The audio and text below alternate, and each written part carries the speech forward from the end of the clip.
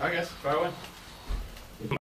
I feel like we still have the confidence. Uh, I mean, uh, we understand that we're not playing football the way we want to. We're not winning the games that we feel like we can win. Um, but I think we know that it's still out in front of us. We have to take it day by day. We have to focus in and really go out and get better as an, as a team. Um, but we, we feel like if we can do that and better ourselves, that we can still get whatever we want to. We do whatever we want to do.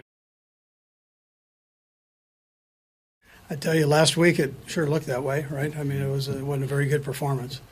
Uh, the week before, you almost had 500 yards. So I mean, I, it's um, I don't know if they've caught up to it. It's we've been giving some things away free, and we got to take care of that.